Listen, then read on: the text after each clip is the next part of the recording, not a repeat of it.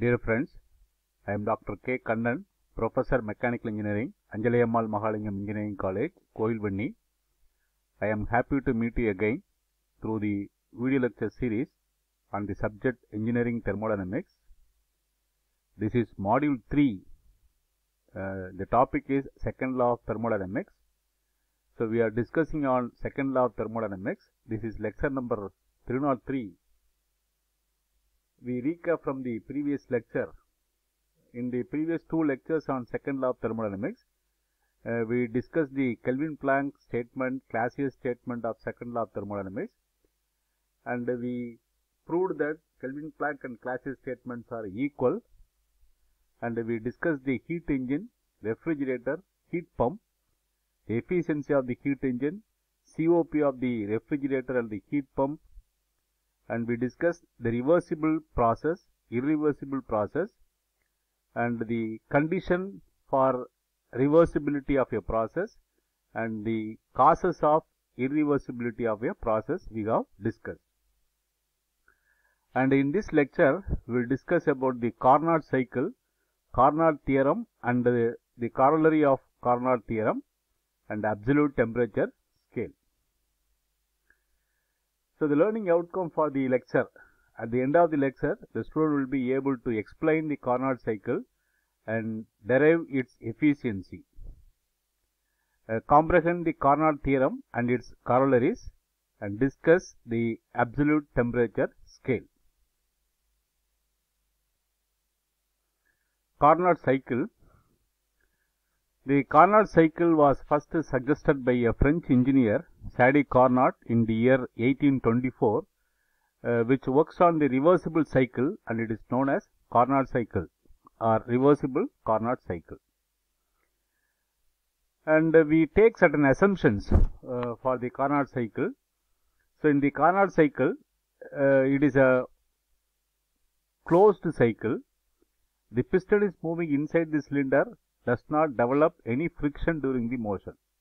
So, there is a piston reciprocating inside the cylinder and there is no friction in the during the movement of the piston inside the cylinder. The walls of the piston and the cylinder are considered as perfect insulator of heat energy. That means there is no heat transfer. There is no heat transfer between uh, across the wall of the cylinder, across the piston. The cylinder head is so arranged that it can be a perfect heat conductor or perfect heat insulator.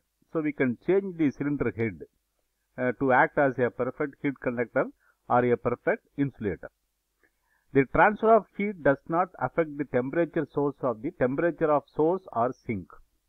So, the source and source and sink are with uh, uh, abundant amount of heat energy. So, infinite temperature sources. So, the source will give any amount of heat energy without change in the temperature and the sink will absorb any amount of heat energy uh, without any change in the temperature. Working medium is a perfect gas and has constant specific heat. So, the working substance is a perfect gas and the uh, specific heat at constant pressure Cp Cv values are constant. Compression expansion processes are reversible. So, the compression process expansion process they are reversible and this is what the arrangement for uh, Carnot cycle. So, we have a piston, we have a cylinder, inside the cylinder we have piston reciprocating, it is completely insulated. So, this is adiabatic wall, this cylinder wall is adiabatic and uh, the piston cylinder head, cylinder head can be changed. So, this is adiabatic cover. So, when you attach the adiabatic cover here, so there is no heat transfer this is diathermic cover. A is the diathermic cover. When you put the diathermic cover here, there will be heat transfer. There will be heat transfer. Now, you look at the uh, various processes in the Carnot cycle. There are four processes 1 to 2, 2 to 3, 3 to 4 and 4 to 1. So, 1 to 2 is reversible isothermal process. 2 to 3 is reversible adiabatic process. 3 to 4 again it is reversible isothermal process. 4 to 1 again it is reversible adiabatic process. So, 1 to 2 is an expansion process. Look at the coordinate pressure volume, pressure volume is increasing. So, 1 to 2 is expansion process, isothermal expansion. 2 to 3, it is again expansion process. So, this is reversible adiabatic expansion. 3 to 4, this is compression. Volume decreases, pressure increases. So, the compression process, so reversible isothermal compression. And 4 to 1, it is reversible adiabatic compression. So, the four processes are 1 to 2 reversible isothermal expansion, 2 to 3 reversible adiabatic expansion, 3 to 4 reversible isothermal compression and 4 to 1 reversible adiabatic compression. Now we explain the four processes. First process 1 to 2 reversible isothermal expansion. Now for the first process this is the arrangement. Now we have a diathermic wall on the cylinder head and the heat is supplied to the system. So we have to maintain the temperature as a constant. So the piston is reciprocating backward. The piston is moving backward and uh, this is the 1 to 2 process. Temperature remains constant and uh, pressure and the volume. Pressure decreases, volume increases. So the isothermal expansion process. Once the first process is over, so the diathermic cover is removed and the adiabatic cover is attached to the cylinder head. Now, everywhere it is insulated. There is no possibility of heat transfer. That is what the second process. For reversible adiabatic process, there is no heat transfer. So, now the piston reciprocates, expands and work is produced. That is what WE, work done due, due to the expansion process. Then after the, when the piston reaches the third position, now once again it is isothermal process.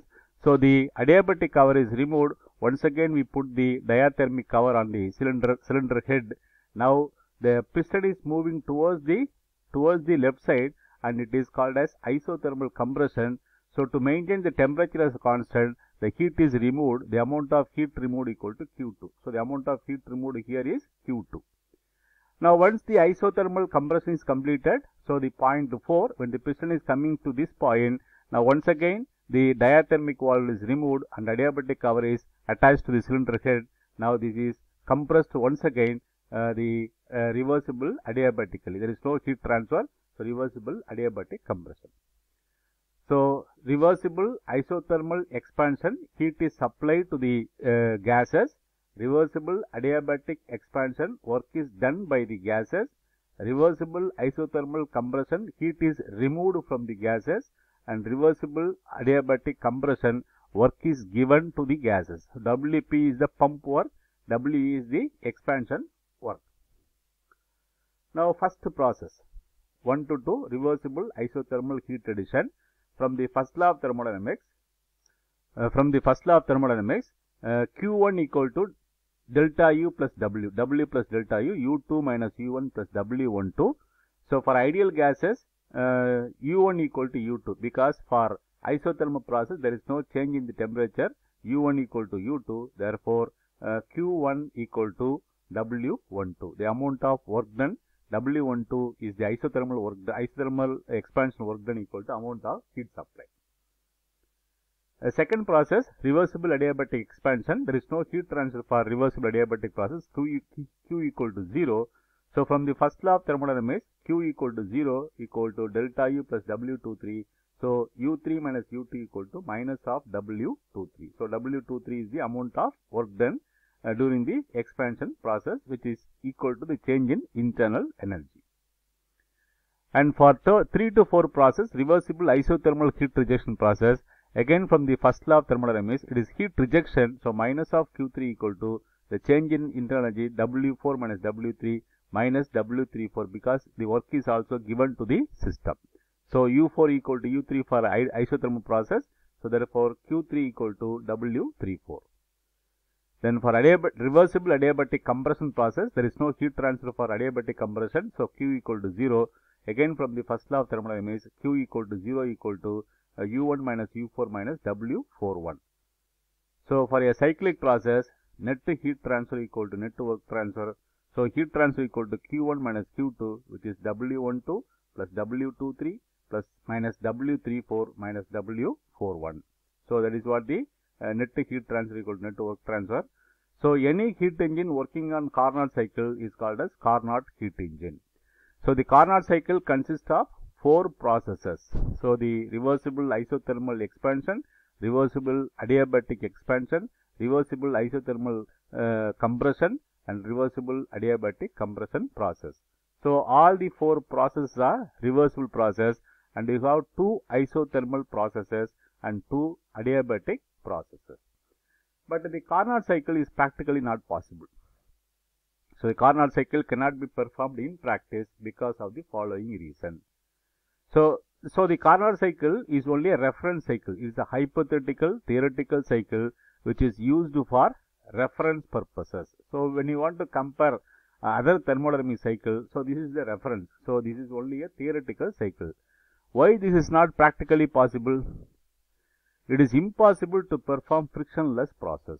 So the first we assume that the piston is reciprocating inside the cylinder. Uh, the, the piston and uh, uh, cylinder movement during the during the reciprocating action, there is no friction. There is no friction inside the engine cylinder, but it is impossible, right? When there is a mechanical contact, mechanical reciprocating action, there will be friction. So friction can be minimized, but you cannot completely eliminate the friction. So the frictionless process is not possible. Number two, it is impossible to transfer heat energy without temperature potential. So uh, actually, uh, heat is given from the uh, infinitesimal source. So without temperature difference, we cannot give the heat transfer. So that is also not possible. And third condition is very important. Isothermal process can be achieved only if the piston moves very slowly to allow the heat transfer so that the temperature remains constant. So for, for isothermal process, the piston has to move very slowly. Adiabatic process can be achieved only if the piston moves as fast as possible so that heat transfer is negligible due to very short time available. For adiabatic process, the piston has to move as fast as possible. So isothermal and adiabatic process take during the same stroke, therefore piston has to move very slowly for part of the stroke and it has to move very fast during the remaining stroke. This variation of motion of the piston during the same stroke is not possible. So the final conclusion, final conclusion for the third point, combination of isothermal and adiabatic process is not possible. Why? For isothermal process, the constant to maintain temperature as a constant, the piston has to move very slowly. For adiabatic process, for heat transfer equal to 0, the piston has to move at a faster speed. So in a single stroke, in a single uh, crank mechanism, it is very difficult to combine this action. So the, for one stroke, the piston has to move slowly and another stroke piston has to move fast. So there are four processes so this the changing the speed of the piston in a single cycle is not at all possible. So that is why Carnot cycle is not possible practically. So this this conclusion is very important. The third point is very important uh, that you have to understand. And the Carnot theorem. So from the Carnot uh, cycle, we derive the Carnot theorem. The Carnot theorem states that of all heat engines operating between a given temperature a constant temperature source and given constant temperature sink, none has higher efficiency than a reversible engine. So the Carnot theorem states that when when different engines are operating between uh, a heat source and heat sink, the reversible engine will have the highest efficiency. So the statement, uh, the final line, none has higher efficiency than reversible engine, rever than a reversible engine. That means reversible engine will have the highest efficiency. Now you took a, take the two engines, engine A and engine B. Uh, both are operating between the same source temperature T1 and T2. Engine A is taking amount of heat energy Q1A and produces WA and rejects the amount of heat energy Q2A. Engine B is taking the amount of heat Q1B and uh, rejects heat uh, Q2B and produces work WB. So engine A and the engine B, they are working with the same uh, source and the sink temperature and uh, they are producing WA and WB. Now engine A is an ordinary heat engine cycle and engine B is reversible. We assume that engine B is reversible. Now what is our condition to prove this statement? We have to prove that engine A, in, efficiency of engine B is greater than efficiency of engine A because it is a reversible engine, it is a non-reversible engine. So, let engine A and engine B operates between given source temperature T1 and sink temperature T2. Engine A is a heat engine and engine B is a reversible heat engine. So, what do we have to prove? We have to prove that eta B is greater than eta A. So, efficiency of engine B is greater than efficiency of engine A. So, to prove this statement, we assume the reverse of the statement. What is reverse of the statement? We assume that eta A is greater than eta B. So, efficiency of eta A, engine A is greater than efficiency of engine B. So, we have to prove that the statement is wrong. So, when the statement is wrong, the reverse of the statement is true.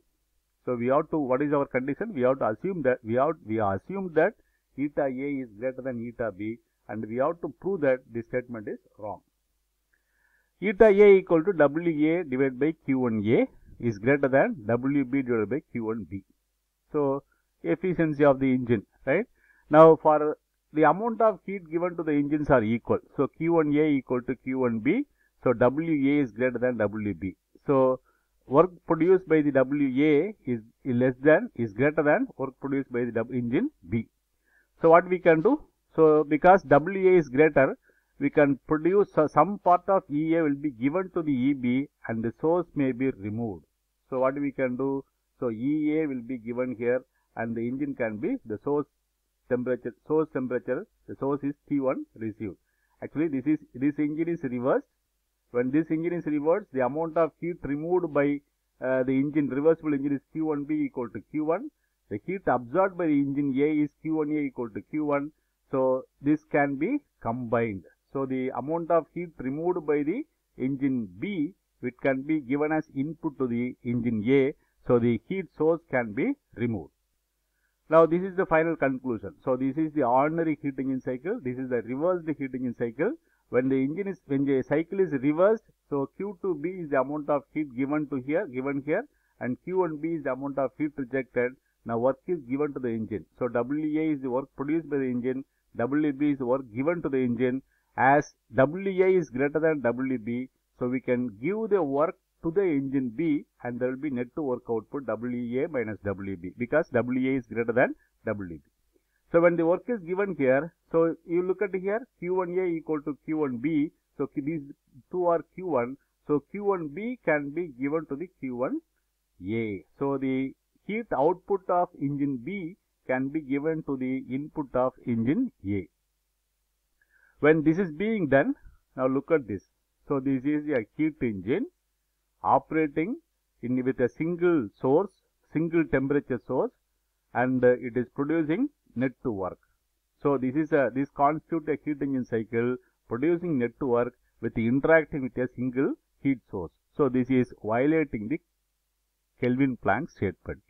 The heat engine A and B together violate Kelvin Planck statement.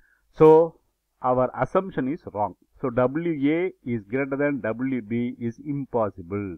That means eta A is greater than eta B is not correct. So, the assumption eta A is greater than eta B is impossible. Therefore, eta B is greater than eta A. So, as we cannot, we are not able to directly prove the statement.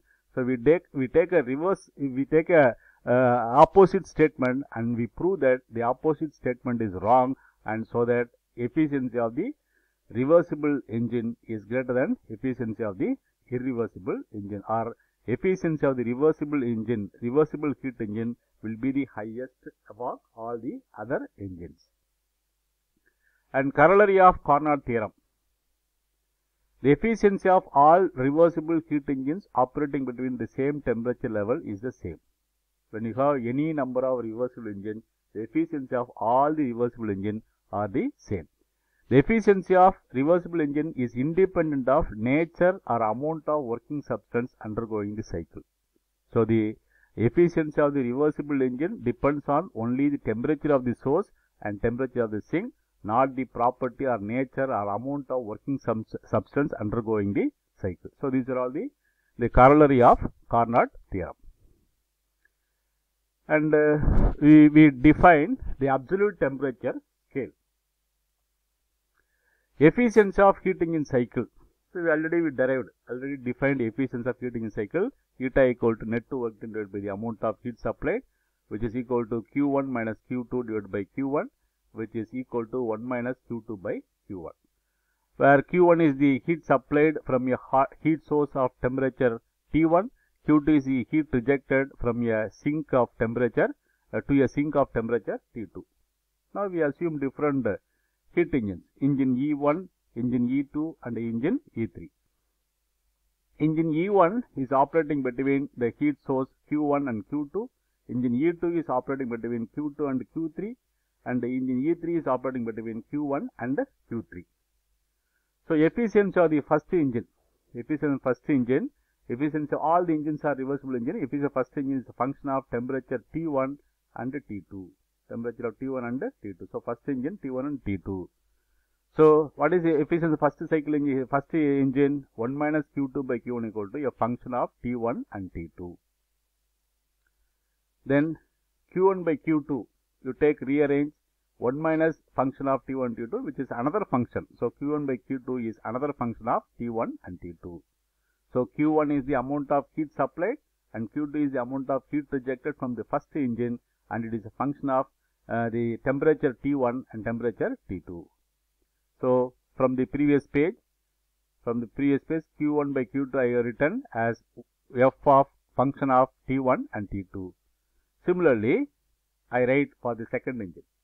Q2 by Q3, Q2 by Q3 equal to a function of T1 and T3. And for third engine, Q1 by Q3, so the third, you look at the third engine. So for third engine, Q1 by Q3 equal to a function of T1 and T3. So for engine 1, Q1 by Q2 equal to function of T1 and T2.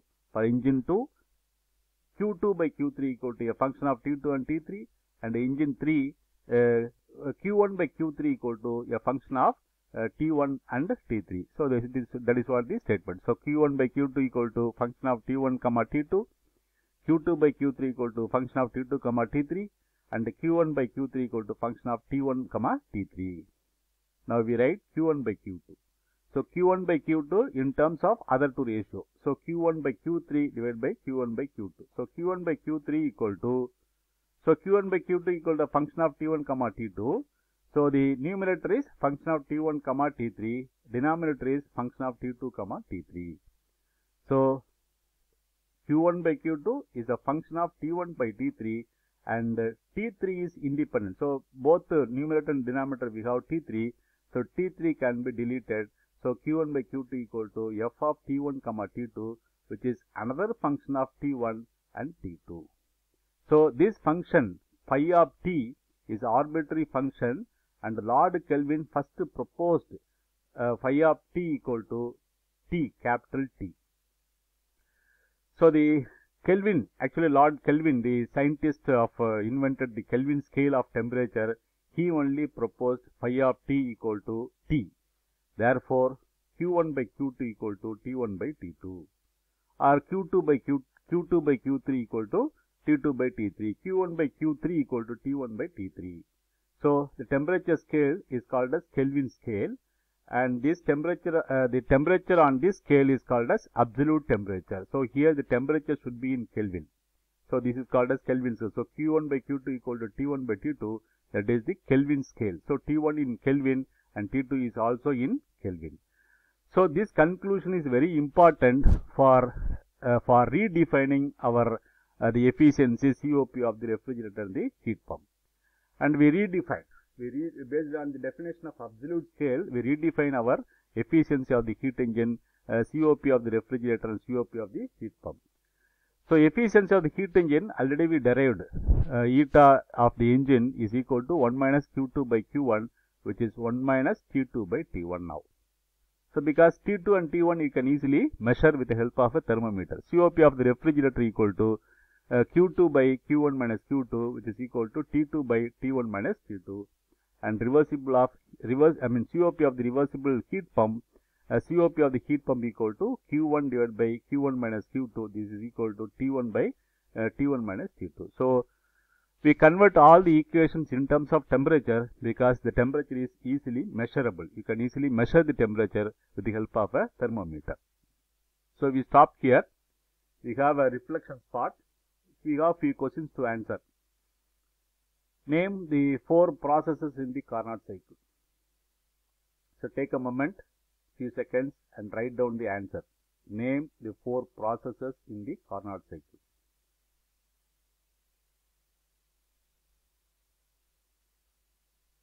So the answer, if you write the answer, uh, first process, reversible isothermal expansion, reversible adiabatic expansion, reversible isothermal compression, reversible adiabatic compression. So these are all the four processes in sequence.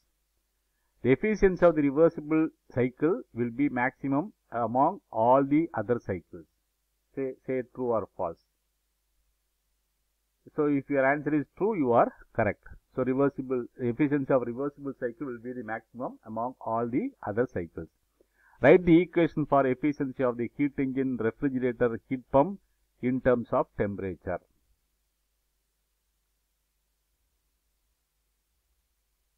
Take a few seconds and write down the efficiency. Efficiency of the heat engine, COP of the refrigerator and COP of the heat pump. Efficiency of the heat engine is 1 minus T2 by T1. COP of the refrigerator equal to Q T2 by T1 minus T2. The COP of the heat pump equal to T1 divided by T1 minus T2. So T1 is the higher temperature and T2 is the lower temperature. So in the in general we have to remember T1 is the higher temperature and T2 is the lower temperature. So we stop here. These are all the books I referred for preparing the slides. You can also refer to it for additional information. Uh, uh, and uh, this is my mail ID. You can write to my mail ID for any queries or clarification. I will answer to your queries. Thank you for watching. We'll meet again.